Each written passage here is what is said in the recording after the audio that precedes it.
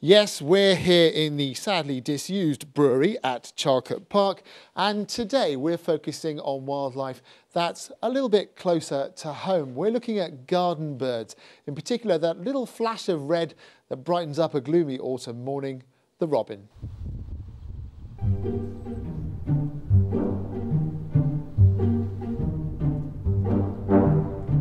25 years ago, David Tideswell planned his garden, designed with birds in mind. Most of the birds that visit gardens, as I say, are refugees of woodland, but not deep woodland, woodland fringe. And really that's what we've tried to replicate in this little garden. Add in clean water, food and nesting material on tap, and the result is a garden that over 50 different bird species flock to, including wrens, cash and carry coal tits stocking up for the winter, and starlings.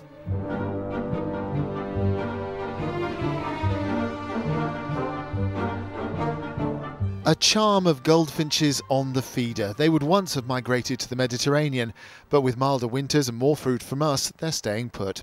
David's an expert on all these garden birds, but there's one regular visitor that he has an amazing affinity with. The robin. How do you train them to do all that? Well, uh, they train me really.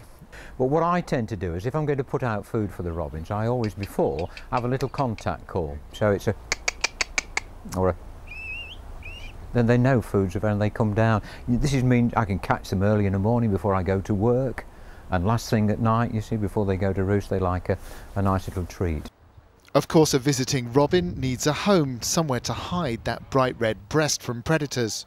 The robin box is much lower there. Yeah, shoulder height in the edge of cover, as I say, primeval habitat, an ivy-covered bank or a hmm. moss-covered stump. Don't get too high. Never completely hide them away. They are like an open view to the front. Danger's only coming from one direction, really.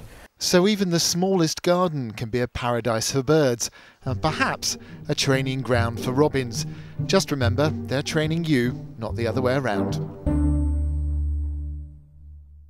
And for more top tips on looking after your garden birds this winter, or why not go to our website, bbc.co.uk slash Midlands Today, where you'll find the very best of your autumn pictures as well.